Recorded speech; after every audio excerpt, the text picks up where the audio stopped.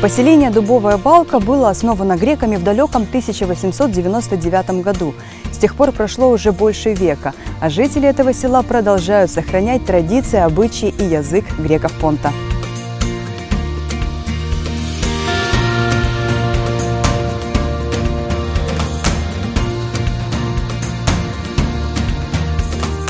Дубовая балка – это небольшое село, которое располагается в Андроповском районе Ставропольского края России. Сегодня здесь проживает 300 человек и большую часть населения составляют представители греческой национальности. Но даже местные армяне, чеченцы, дагестанцы и русские понимают язык и знают культурные особенности первых жителей Дубовой балки. Предки сегодняшних жителей Дубовой балки, они э, жили на понте в районе города Аргируполь. Это э, рудоносные районы, горные районы. И в 1864 году мы по э, разрешению Александра II, императора, переселились на Северный Кавказ. Большой был поток, и мы расселились в нескольких селах. Село Греческое, Дубовая Балка, Хасаут греческий, Спарта. Это уже сегодняшние, сегодняшние места, где живут эти жители. Мы первоначально поселились в селе Султан. Там мы прожили около 35 лет. Но э, земли, которые мы сели, они находились в районе сегодняшней дубовой балки. Поэтому э, приняли решение переселиться сюда поближе к ним. Самая большая фамилия в селе это Стафарандовы. Следующая Паландовы и третья Попандопову. Также большие фамилии Осадовых, Питановых, Катановых, Ферисовы. Около 35 фамилий в селе. Плюс еще позже приехали греки, карские беженцы, с Грузии греки. Первоначально деревня состояла из пяти улиц, на которых располагалось 200 дворов. В центре поселения, как и сегодня, возвышался каменный храм, а сами дома были построены из самана. Саман – это э, кирпич, изготовленный из глины и соломы, перемешанный все это в какой-то яме, да, то есть они изготавливали сами этот саман, остались единственно вот, э, вот эти, ну, их называемые окошки, да, почему-то.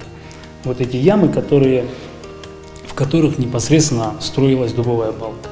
Потом, когда появился кирпич и черепица, мы начали, ну, они уже перестраивали. Сегодня уже не увидеть ни старых домов из Самана, ни двух греческих улиц, которые исчезли во время строительства Большого Ставропольского канала, а на месте первой греческой церкви во имя святого Георгия Победоносца сегодня располагается Дом культуры. У нас работает семь кружков. Два из них – это клуба по интересам, пять – это кружки самодеятельного народного творчества. Один из них Э, это клубное формирование э, национального понтийского танца «Понтиус». Мы активно пропагандируем национальную культуру, участвуем во многих э, фестивалях и конкурсах.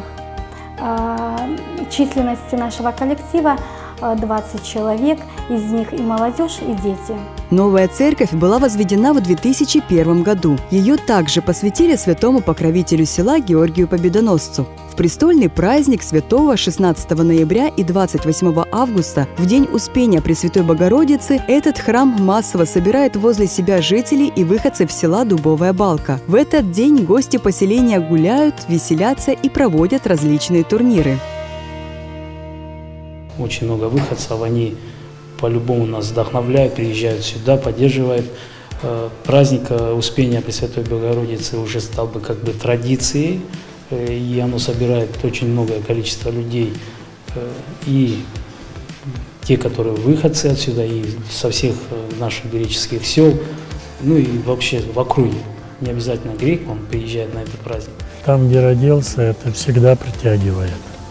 Наверное, это так. Родился я в соседнем селе, в Киан-Подгорное, но мне было год, когда мы переехали в Дубовую Балку. Потому что родители учителя были, и они по району ездили. И мать, и отец. Конечно, для меня это основное село, поселение, город моей жизни. Потому что я там вырос, там были мои друзья, там были родители, родительский дом, который до сих пор есть. Там были мои учителя, первые наставники в моей жизни. Все, что связывает э, вообще в жизни хорошее, это Э, с этого села. Дмитрий Григорьевич – главный врач Центральной больницы Есентуков и приезжает в родное село не только по большим праздникам. Здесь его любят и очень уважают, а он, в свою очередь, вместе с единомышленниками стремится сделать все, чтобы родная деревня продолжала жить. Именно поэтому в скором времени центр села значительно преобразится. Появится памятный знак репрессированным в 30-х годах грекам, а старый памятник воинам, погибшим во времена Великой Отечественной войны, заменит на новый монумент. Каждого дома есть погибший. И, конечно, уже пришло оно уже, ну, уже там трескается, ломается, там все. Мы уже сделали новый памятник из гранита, хороший памятник погибшим. Я думаю, что он отстоит и сто лет. Греки Дубовой Балки очень гордятся своими соотечественниками, отдавшими жизнь во имя мира в сороковых годах. И таких немало. Из ста добровольцев, ушедших воевать против фашизма, домой вернулись только 30 человек. Высоко ценят местные жители и тех, кто сегодня достойно представляет родную деревню. Я восторгаюсь каждым жителем, выходцем из этого села. Это удивительные люди. Они действительно не похожи ни, ни на остальных в общем людей, ни на греков, которые даже в соседних селах живут. Э, я горжусь ими. Э, для них всегда было важное образование, и они отдавали все, чтобы выучить своих детей. То есть все остальное было на втором месте. И они добились в этом очень много. У нас много профессоров, академиков в Москве, в Петербурге. Некоторые по их пособиям учатся до сих пор в военных академиях. Э, много у нас врачей из села также вышло и строителей. Я не знаю такой семьи из 130 домов, с которой не учились в высших учебных заведениях. Вот с нашей семьи из четырех трое с высшим образованием. Таких семей очень много. Потому что все стремились к учебе. Время было такое, и желания были большие. Наше село – это село учителей, врачей, строителей, фармацевтов, агрономов, ветеринаров в большой палитре. Дубовая балка всегда славилась не только образованными людьми, а и крепкими семьями. В этой деревне не знали слова «развод». Не любили местные греки также печалиться, а потому каждый вечер на всю деревню жители пели песни под игру понтийской лиры. Хотя село и такое небольшое, но в нем проживало около тысячи человек очень много молодежи. И, конечно, было интересно всегда. Всегда у нас были греческие танцы. Каждую неделю. В те советские времена на этой лире было 4-5 человек, которые э, занимались. Всегда язык мы никогда не забывали, хотя и обучаться негде было. То есть э, традиции все мы сохраняли здесь очень э, много людей было, молодежи. Э, клуба у нас не было. У нас был какой-то сарай, там собирались, битком набито. Но сейчас, конечно, никого не осталось. И молодежь выехала, старики умерли. Остались мы вот. А Пондиакамилат. Пондиакамилуме. Мы уже это обрусели. Нет, нет, таразуми она мисалуя ручика а в основном э, э, румейка. Христофор Стафарандов всю жизнь прожил в этом селе. На лире научился играть в начальной школе, а мастерить национальный инструмент греков понта Христофор Константинович начал уже будучи на пенсии. Сегодня в руках у мастера его последняя скрипка, и потому он делает ее с большим трепетом и любовью. Скрипку первый раз делаю с металлическим э, крышкой. Она уже у меня давно просится.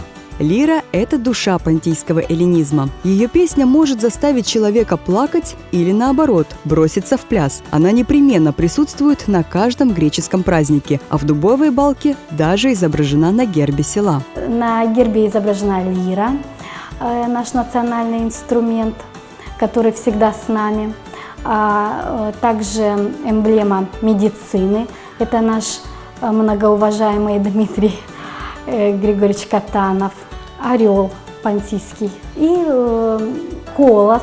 Это наши молодые, надеемся, в будущем перспективные фермеры. Фермерство – это практически единственный вид деятельности, который сегодня доступен для молодежи села. Местные жители занимаются скотоводством и выращиванием некоторых агрокультур. Для местного населения однозначно это скотоводство. Тем более э, чеченцы и дагестанцы – это исконные скотоводы. Мы, наше население, ну, часть, э, которая, ну, она чуть-чуть отошла, строители выезжают на разные заработки, приезжают опять же в Дубовую. В основном э, возвращаются, знаете, как те, которые, ну, очень мало процентов, процентов 10, которые возвращаются уже пройдя весь этот путь, да, там где-то устроились, где-то получилось, где-то не получилось, возвращаясь сюда, опять же, к, ну, к исконному здесь скотоводству, ну, то есть вот это до 30 лет.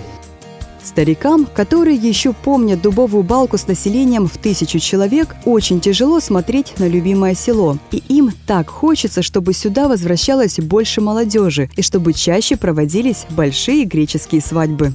Раньше когда свадьба была, каса эти травозные. Олиричи сепизанги и не травозные. А тура ансамбль э, играет, а другие все слушают. Пожелал бы возрождение снова, чтобы а, село зацвело. Э, оно уже, как говорится,